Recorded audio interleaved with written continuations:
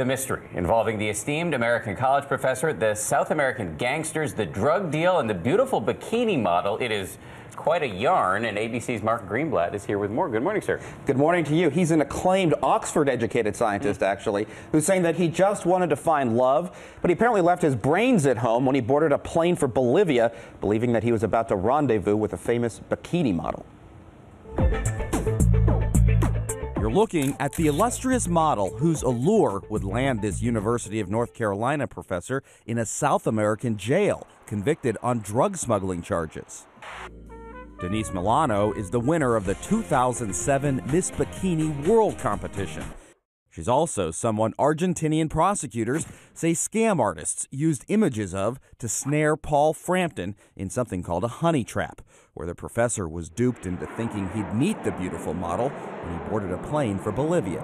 Milani never showed up. Instead, Frampton says he was met by a man who gave him a suitcase, telling him to take it to Milani in Argentina.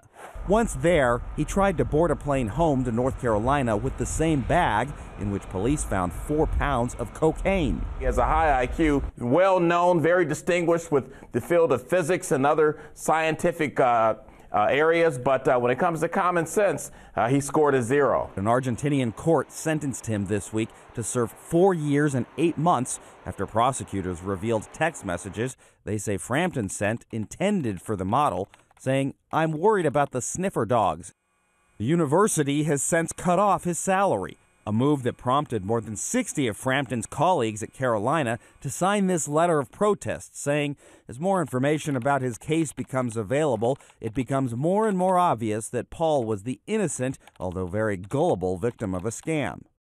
From prison, Frampton said it does seem unfair that an innocent scam victim is treated as a professional drug smuggler, but the court in Argentina ruled otherwise. Ignorance of the law, as we all know, is no excuse.